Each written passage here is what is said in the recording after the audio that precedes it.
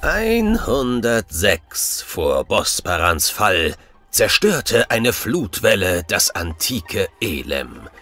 Es ist die landläufige Meinung, dass die Strafe der Götter den verderbten tulamidischen Sultanen galt. Es gibt jedoch lange vergessene Quellen, die anderes berichten. Der Stern von Selem war von Fex geschleudert und traf im Selemgrund das damals größte Unheiligtum Aventuriens, bezeichnet als Tempel von Krakon. Damit verbunden ist ein Name, der in vielen südlichen Legenden und Schauermärchen auftaucht. Vajat. Es ist zu vermuten, dass noch eine andere Legende damit in Zusammenhang steht. Jene vom Zauberkönig Mordar und seinen schwarzen Schiffen. Daher komme ich zu dem Schluss, im Selemgrund öffnete sich vor über tausend Jahren Charybderots Grotte. Eine Pforte des Grauens, so gewaltig, dass das Eingreifen der Götter notwendig war. Das Ausmaß ihrer Macht muss größer gewesen sein als jene der heutigen Unheiligtümer bei Rulat, Lanka und Maraskan zusammen. Es bleibt zu hoffen, werte Kollege, dass durch die Götter diese Gefahr dauerhaft gebannt wurde.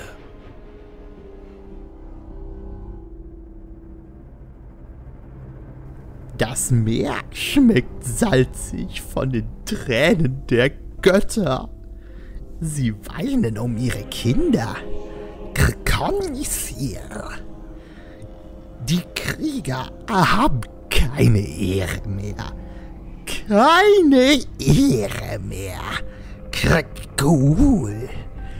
Sie wetzen ihre Klingen am Krötenstein das Erz der Tiefe.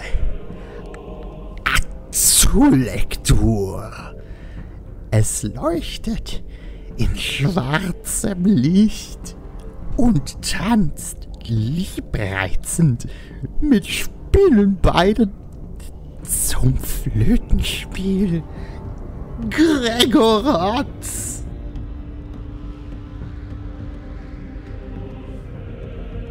26. Praios, später Nachmittag. Ihr habt das sagenumwogene Janka erreicht. Die Gassen sind eng und drogenschwanger. Die Bewohner korrumpiert und aggressiv. Kaum habt ihr die Stadt mit euren Trollzackern betreten, da wurdet ihr auch schon von einer der hiesigen Banden überfallen und mit Gift auf den Tod attackiert. Doch ihr konntet zurückschlagen und habt nur wenige Kämpfer verloren. Die Winkel der Stadt scheinen zu verschmieren. Die Realität ist zerbrochen und die Zeit verläuft nicht mehr konstant. So nah an den Niederhöllen merkt ihr ein Ziehen in Richtung Meer hinaus, was euch zu ertränken versucht. Doch nun steht ihr am Marktplatz vor dem blauen Palast und dem Raya-Tempel. Was wollt ihr tun?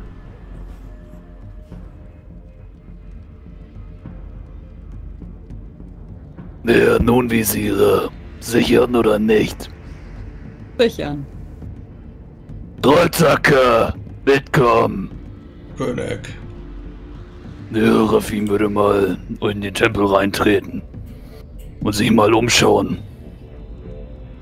Ja, Rafim, äh, du siehst vor dir Stufen, die mit Algen bewachsen sind und hinab in ein Wasserbecken führen das eigentlich zur rituellen Reinigung gedacht wäre. Aber es sieht wirklich nicht so aus, als würde man sich darin reinigen wollen. Also das Wasser ist grünlich verfärbt und ja, am Rand des Beckens kleben ganz viele Kerzen, die brennen und fast die einzige Lichtquelle in dem Ganzen sind. Und ansonsten ist der Tempel leer. Hm. Aber man sieht, wie noch ein bisschen Licht durch kleine Glasfensterchen oben in der Kuppel auf eine lebensgroße weiße Pferdestatue fällt. Eine sich aufbäumende Stute, die da genau in der Mitte unter der Kuppel steht. Am Boden liegen ein paar schäbige Matten, nicht die üblichen bestickten Kissen, die man so in einem Tempel kennt, Sieht alles sehr heruntergekommen aus. Und Zulamin betritt dann hinter dir den Tempel. Alles sicher? Ja, sieht leer aus. Trollzacke, sicher gehen, dass sich hier keiner versteckt. Wenn bringt ihn mir lebend. König. Ähm, euer Tempel ist verfallen, würde ich sagen. Hier sollte einmal gründlich durchgewischt werden. Ja, also sauber sieht das nicht aus. Das ist ein guter Vorschlag, Abelmir. Wir treiben bestimmt für dich einen Besen auf. Oh, aber mir unser Sauberzauberer. Ja, nun, ich Oh. dachte mehr an die Tro Trollzacker oder Bedienstete vielleicht. Sulamin schlägt dabei einen Bogen um das Becken. Also da ist nur ganz wenig Rand, weil es ist ja eigentlich so gedacht, dass man sich entkleidet und durch das Becken den Tempel betritt. Und äh, bleibt kurz stehen, schaut ihren Stiefel an, weil der Boden klebt ganz eklig und ist irgendwie schmierig. Aber wenn die Trollzacker dann den Tempel sichern, äh, geht sie schnellen Schrittes durch die Halle. Absätze knallen auf dem Boden und äh, geht auf diese Statue zu. Außenrum um diese äh, Tempelhalle läuft ein Fresko, das wohl mal wirklich schön war. Also, wenn ihr mit ihr mitkommt, äh, könnt ihr erkennen, dass es eine aranische Orgie darstellt. Ähm, es ist auch an den meisten Stellen noch gut zu erkennen, aber an einigen Stellen auch abgeblättert.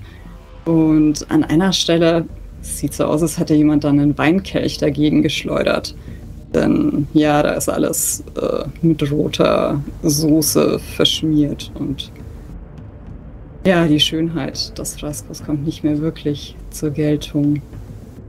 Ulamin steigt über eine von diesen eklig aussehenden Matten und äh, geht dann langsamer auf die Statue zu, den Blick zur Kuppel erhoben. König, wer? Der starke, der starke Arm von Kirgamosh Kornan ähm, wird in einen der großen Kissenberge getaucht und dann zieht er an einem Bein einen äh, Ferkiner Krieger hervor, der dort wohl mit äh, roten Augen drin lag, äh, wird dann so ein bisschen rumgeschleift, protestiert da wohl auch auf äh, Tudamidia, Urtudamidia und äh, wird dann vor dir abgelegt. Maldi, Tafael Nu, Huna. Na, Zulamin, komm mal her. Du bleibst da liegen. Haltet ihn fest, ich fasse mich gleich mit ihm. Festhalten. Ulamin äh, schaut die Statue an und entdeckt mit leichtem Frösteln, dass die Statue zwar wunderschön ist und herrlich gearbeitet, aber der Kopf sieht irgendwie aus, als wäre er nicht ganz fertig geworden oder als wäre die Statue sehr lange im Freien gestanden und die Konturen von den Augen und Nüstern der Stute hätten sich irgendwie abgenutzt. Und äh, sie umfasst dann mit den Händen die Fesselgelenke der Pferdestatue und ruft in die Hallen der Leere hinein. Herrin, bist du hier? Versucht dann irgendwie zu erspüren die Präsenz ihrer Göttin in diesem Tempel. Also sie schickt ihre Sinne aus, vielleicht mehr als die üblichen fünf und sucht den Kontakt zu Raja. Raja antwortet nicht. Da ist nichts, nur diese Leere. Was tut ihr hier? Ulamin Würde den Mann mal bitte jemand festhalten? Schalt den schon fest, König. Na, vernünftig. Hör auf so rumzubrüllen. Einen Moment. Visira, der Mann will mit euch reden. Ja, nachdem Zulamins Versuch, ihre Göttin an diesem Ort zu finden, gescheitert ist, ähm, wendet sie sich dann auch äh, diesem Typen zu, den die anderen da festgenommen haben. Und spricht ihn erstmal auf Verkina an. Wer bist du? Er ist kurz perplex, dass du die Sprache beherrscht, äh, nickt dann aber grimmig. Wakshitun. Was tust du hier? Warten. Auf wen? Auf den Herrn, Jaraben Harasami. Ist das dein Haran? Äh, Boss. Haran. Er nickt. Haran. Nun, mein Lieber. Ich bin die neue Visira von Yanka. Ich bin die Auserwählte der Roten Rasha. Und ich bin gekommen, um die Froschmenschen aus dieser Stadt zu werfen. Können die echten Menschen mir dabei zur Seite stehen? Oder seid ihr genauso heruntergekommen und korrupt wie der Rest dieser Stadt? Du bist runtergekommen. Nein. Äh, wir gehorchen den Gesetzen nach Astola. Froschmenschen böse. Also seid ihr Was? die, die äh, geschlachtet haben Neraida? Neraida, die Frau, die uns angegriffen hat. Äh, Drogenschmuggler. Was du nicht sagst. Seid ihr die? Ja, wir haben gekämpft. Ist sie tot? Einige. Nicht alle. Neraida? Sulamin schüttelt den Kopf. Ah. Und du bist jetzt äh, Boss von dieser Stadt, ja? Sieht so aus. Weiblicher Harani. Merkwürdig. Ich werde euch nie verstehen. Willst du verhandeln mit Harasami? Das will ich. Ich hol ihn. Lasst mich los. Sulamin nickt und meint dann zu Rafim. Nun, das war zumindest nicht so entmutigend wie alle anderen, die wir bisher hier getroffen haben. Wer ist das? Ein Verkiner, wie es scheint. Was sucht er hier? Er will seinen Haran so rufen. Sie hassen die Froschmenschen, aber ich habe nicht den Eindruck, dass sie gegen sie vorgehen. Ja, und was sollen wir mit ihm machen? Hm, vielleicht können wir seinen Haran auf unsere Seite bringen. Vorausgesetzt, Ja. er gehört nicht auch zu denen, die wir bekämpfen müssen. Du, Verkinner, wie viel seid ihr? Äh, zwei Hand. Wenige. Nun ja, besser als nichts. Naja, wir haben Drei. als brauchen, als brauchen und nicht haben. Drei Hände Krieger oder eure ganze Sippe? Äh, Sippe. Alles habt ihr eure. Pferde in der Stadt? Ähm, hier nichts Pferde. Ähm, Ziegen und äh, ich hol, ich hol den Haran. Ich nicht reden mit Frauen. Ulamin sieht ein wenig mitleidig aus. Auf eine herablassende Art. Ja, sollen wir den Bastard jetzt loslassen oder nicht? Ja, lasst ihn laufen. Ja, schmeiß den Bastard vor den Tempel, er soll sein was auch immer holen. Ja, Conan richtet ihn auf und trägt ihn so nach draußen, bis er ihn dann brutal mit äh, wahrscheinlich einem Arm, der ausgekugelt wird, vor den Tempel tritt. Ja, man muss ja auch für ein bisschen Respekt sorgen. Ja, wo wir gerade von Respekt reden. Da draußen warten noch, ich habe mal zählen lassen, 22 Männer und Frauen darauf, dass man ihnen Respekt beibringt. Ich denke, das besprechen wir, wenn wir im Palast sind. Zumindest, wenn sich dort nicht sofort wieder neue Probleme auftun. Ja, deswegen frage ich, weil vielleicht ist euer Palast nämlich besetzt. Und dann wären 22 Gefangenen ziemliches Sklotz am Bein. Lass uns nach draußen gehen. Die Götter sind wahrlich fern an diesem Ort.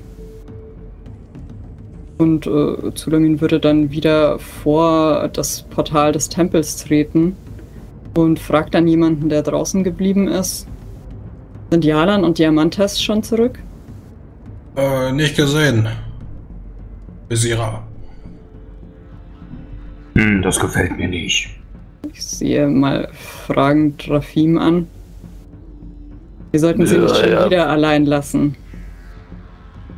Wenn sie Ja. jetzt noch nicht da sind.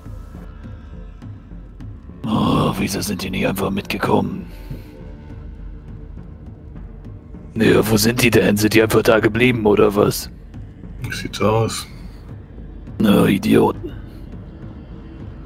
Ja, wie sie gerade zurückmarschieren oder zum Palast, wo wollt ihr hin? Lasst uns die Gefangenen zum Palast bringen. Männer, formieren! Wir gehen zum Palast. Das blaue Ding. Das, Das blaue Ding. Ja. Okay, los geht's. Derweil in den Gassen und Straßen neben den vielen, vielen Toten, die aufgebahrt dort liegen oder immer noch auf ihren Häuserdächern, wo sie gestorben sind, nachdem ein gewaltiges äh, Axt, ein Mordinstrument der Trollzacker sie getroffen hat und zu Boden geschickt hat. Yamantes und Jalan stehen dort in den Nebeln, in den Gassen und irgendwann könnt ihr hören, wie schlurfende Geräusche auf euch zukommen. Aus Richtung Süden. Haltet euch bereit. Hier kommen sie, denke ich. Hoffe ich mal. Die Alternative wäre wohl, dass es noch ein Überfall ist. Ich bin bereit, auch sollte es ein Überfall sein. In dieser Stadt kann man alles erwarten, Ist das Ding da geladen? seitdem wir in der Stadt sind. Hervorragend. Und Wir wollen natürlich kein unnötiges Gefecht anfangen, allein schon bedingt, dass wir zu zweit sind. Hoffen wir, Mehr mit dieser, mit dieser Metzgerin kann man reden. Mehr als einmal schießen äh, werde ich nicht können. Die Nachladezeit braucht aber äh, viel zu lange. Aber ein Gegner wird's auf jeden Fall mit sich nehmen. Nun hoffe ich, ihr seid gut zu Fuß. Merlan blickt über seine linke Schulter wieder über die Hauptstraße hinab, von der man, wie er meinte, eigentlich den Tempel sehen müsste. Aber irgendwie scheint doch nur eine Wegbiegung zu sein. Bitte nochmal den Kopf, konzentriert sich wieder auf das, was da kommt. Aus dem Nebel schreiten heran 10, 12, 15 Personen, allesamt mit Schürzen, ehemals weiß, mittlerweile nur noch braunfleckig ähm, und riesigen Hackebeilen, die sie dort tragen. 15 Personen und eine von ihnen ist besonders auffällig, denn sie ist unglaublich dick, körperlich stark und noch bevor sie auf 10 Schritt an euch heran ist, könnt ihr schon riechen, wie sie wohl Rauschkraut verströmt, wie es aus ihren Poren herausdringt, der Geruch und wohl von allen anderen respektiert wird. Die Person, weiblich, ähm, kommt auf euch zu und ihr könnt dann auch wohl erkennen, wie neben ihr äh, die Botin ist, die ihr losgeschickt hattet. Sie äh, schneidet sich so ein bisschen äh, mit ihrem Hackebeil über die wulstige Hand, äh, auch wenn da nicht viel Blut fließt, aber äh, scheint da wohl so ein bisschen ihre, ihre Gestalt, ihre finstere Gestalt in, in Position zu bringen. Stemmt ihre beiden äh, Hände dann in die Hüften und nickt euch zu. Ja, seid gegrüßt. Ihr seid die Metzgerin? Äh, so werde ich genannt. Und ihr seid jetzt die neue Bande, ja? Die neue Bande, wenn ihr so wollt, ja. Hm. Und wir haben ein hervorragendes Angebot für euch. So, so. Ihr könnt anfangen. Ruft sie dabei zu den Lehrlingen und äh, du siehst, wie die Hackebeile in das Fleisch geschlagen wird. Ich.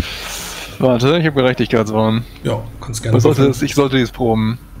Ja, Diamantes schaut sich das Ganze, wenn er es verbergen will, sichtlich angewidert an, Ja, ich meine, das. war- Sorry, sorry. wie äh, da die äh, Leute anfangen, die Leichen zu zerhacken und hält nur seine äh, Schusswaffe, seine Abalone ein bisschen fester.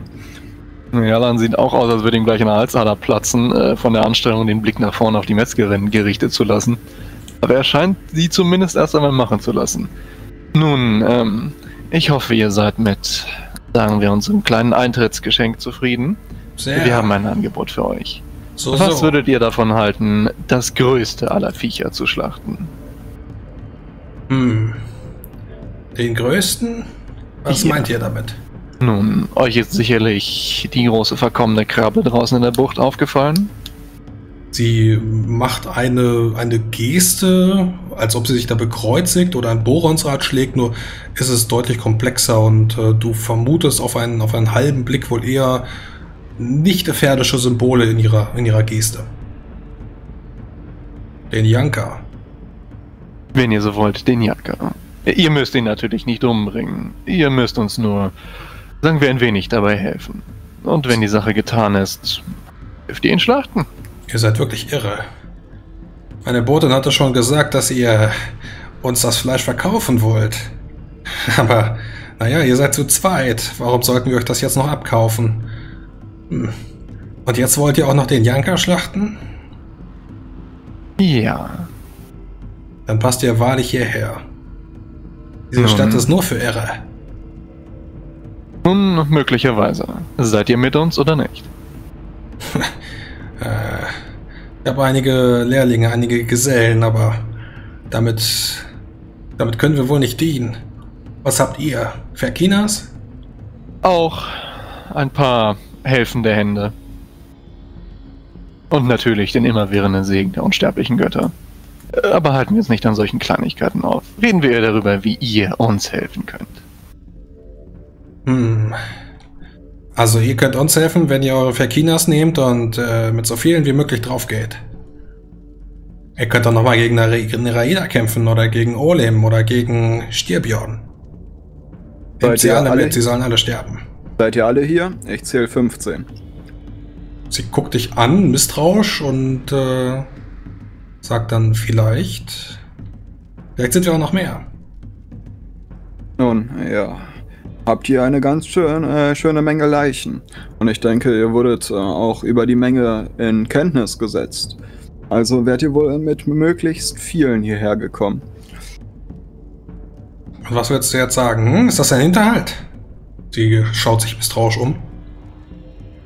Aber bitte doch. Wäre das ein Hinterhalt, wäre der schon längst zugeschnappt. Wir sind äh, zur Verhandlung hier, wie euch mitgeteilt wurde. Äh, äh, sie greift sich ein bisschen an den Kopf und, und kreist sich so ein paar Haare aus. Ich weiß nicht. Wir. Uns ist gut daran gelegen, wenn ihr so viele wie, wie möglich von den anderen Banden schnappt und sie in den Tod laufen lasst. Aber wir können euch nicht helfen. Wir sind zu wenige. Aber bitte, wir verlangen doch wahrhaftig nicht viel von euch. Wir wollen nur ein paar Dinge wissen. Vielleicht ein, zwei helfende Hände. Ihr kennt euch hier schließlich aus. Das können wir machen, aber wir kämpfen nicht gegen den Janka. Natürlich nicht. Das würde doch von euch aufrichtigen Handwerkern, ja, dann schaudert einmal kurz, niemand erwarten. Ja, währenddessen hörst du so Schmatzen von abgetrennten Gliedmaßen. Schließlich erscheint es in unser aller Interesse zu sein. Nicht Ja, wahr? schon, schon, schon, schon. Nun, was haltet ihr davon? Ihr lasst eure, eure Männer hier arbeiten. Wir gehen zusammen zum Palast. Ich stelle euch den neuen Visierer vor. Wir sorgen dafür, dass das alles glatt läuft. Wir unterhalten uns ein wenig freundlich und höflich. Gibt schon wieder eine neue Visierer. Oh, Wie viele ja. wollen die noch schicken? Nun, solange es, wie gesagt, Wahnsinnige gibt, die sich der Sache annehmen, wird es immer wieder eine geben. Äh, Okay, okay, wir, wir transportieren das Fleisch ab und machen ein, einige Eintopfe und dann, äh, wenn die Kessel kochen, dann kommen wir zu euch. Natürlich doch. Ich verlasse mich auf euch. Die Visierer wäre sehr verstimmt, wenn ihr euch nicht an eure Abmachung haltet. Ich hoffe, das ist kein Hinterhalt. Aber bitte. Wir sind schließlich Ehrenleute. Ladet die Karren auf, wir gehen wieder. So schnell wie möglich. Und es kommt. Wir verziehen uns besser hier, bevor es noch äh, härter zur Sache geht. Ja, ja, das sollten wir. Meint ihr wirklich, das ist eine Unterstützung, auf die wir bauen können? Ich vor allem meine, dass die zu 15 sind, wir zu zweit und ich nur eine Hand habe. Und wenn ich mich nicht täusche, ihr nicht fechten könnt. Fechten, nein. Dies ist also der beste Handel, den wir hier bekommen werden. Es sei denn, ihr möchtet jetzt. Wir gehen vermutlich gerade von dem Platz runter. Äh, sind irgendwie so 20, 30 Schritt, na, vielleicht eher so 10 bis 20 von denen entfernt. Es sei denn, ihr möchtet euch jetzt nach oben drehen und anfangen zu schießen.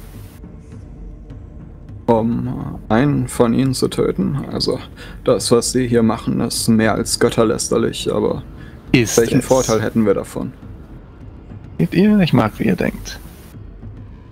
Entsprechend sollten wir nehmen, was wir kriegen können und uns darauf verlassen, dass die Frau am Palast auftaucht und wir aus ihr Informationen herausquetschen können. Diese Schmuggler scheinen nicht verhandlungsbereit zu sein. Das haben wir gesehen, haben uns direkt angegriffen. Wir aus der Sichtweite sind, lehnt Jalan sich an eine Minute lang irgendwie an eine Hausecke, atmet tief durch. Äh, bist ja nicht sicher, ob er sich währenddessen versucht zu orientieren. Sagt sehen wir dann- aus dem Nebel einen äh, Hund mit drei Beinen heranhinkt und äh, anfängt an deinem, in deinen Stiefel zu beißen. Ja, fort mit dir! Und Gibt dem Köter einen Tritt. Ähm, sagt dann, mehr oder minder setzt sich er da lang und marschiert Richtung Tempelplatz. Und ihr seid euch sicher, dass es hier Richtung Tempel geht? Nein. Gut, dann müssen wir uns wieder auf die äh, für die Stadt fertig machen. Sie könnte uns alles entgegenwerfen. Das gleißende Licht des Herrn Prayers erleuchtet dem Rechtschaffenen den Weg. Früher oder später. Ich sehe hier nur Nebel und keinen Weg. Nun, wartet ab. Er wird sich offenbaren. Ein dunkles Bauchgefühl will euch eher in Richtung Norden ziehen, wo auch immer Norden ist, aber wohl rauf, rauf in Richtung des Wassers. Aber ihr folgt den Gassen, den Straßen, ohne zu wissen, wo wir wirklich lang geht. Eine Hauptstraße gibt es hier nicht richtig. Immer mal wieder Winkel, die hier nicht hinzupassen scheinen. Kurz habt ihr das Gefühl, dass auch wenn ihr euch nicht umgedreht habt, wieder in Richtung nach draußen marschiert, an der Brücke vorbei, beziehungsweise auf die Wachtürme, aber dann nach wenigen Metern mehr, die der Nebel euch dann entgegenschickt, steht ihr vor den Trollzackern und dem blauen Palast. Seht ihr, das Licht des Herrn Prayers muss man nur manchmal richtig deuten, denn es scheint aus den seltsamsten Winkeln. Als wäre dies eine, Mö- eine plausible Möglichkeit, der Weg für nun geht ja dann auf die anderen zu. Ah! So, Dermin! Ja, Lan. Wir haben euch, sagen wir, eine etwas äh, zugeneigtere Stimme in der Stadt besorgt. Die sogenannte Metzgerin, Metzgerin. wird bald hier sein, um mit euch, mit uns, wie auch immer, zu verhandeln. Macht, euch auf was gefasst. Ja, Lan. Wir können das nicht tolerieren. Ich dachte, ich wäre deutlich gewesen in dieser Sache. Was hätte ich tun sollen? In dieser Situation waren wir auf jeden Fall unterlegen. Wenn wenn diese Stadt wieder befriedet werden soll, dann äh, wird das so auf jeden Fall nicht weitergehen können. Aber das Problem, das wir momentan vor uns haben, ist der Malmer. Wenn ihr sie Ja. hochnehmen wollt, könnt ihr dies dann immer noch tun. Bitte sehr, ich helfe euch nach allen Kräften dabei. Aber jetzt gerade sieht es so aus, als könnte sie uns viel über die Stadt erzählen und vielleicht ein oder zwei ortskundige Führer an die Seite stellen. Ja, ich weiß dann- nicht, wie es euch geht, aber ich finde mich nicht zurecht. Jalan, Tags? Ulamin, ihr Vesira, nicht wahr? Das ist Ja. ihre Stadt. Und wenn sie sagt, wir machen sowas nicht, dann machen wir sowas nicht. Warum seid ihr zurückgeblieben? Wir haben nach Gornech gesucht, äh, nicht nach, verzeiht, äh, nach den, nach den Trollzackern gesucht. Ihr erinnert euch? Und habt ihr die gefunden? Einen, Wo ist die die? Hälfte von einem. In dieser Stadt ist es schwer, überhaupt etwas zu finden. Und ist es da besonders klug, sich aufzuspalten? Ich glaube nicht. Und ist es klug, in einer solchen Situation mit irgendwelchen windigen fremden Geschäfte einzufädeln, obwohl die Visira Nein gesagt hat? Ich glaube nicht. Jalan, du musst anfangen nachzudenken.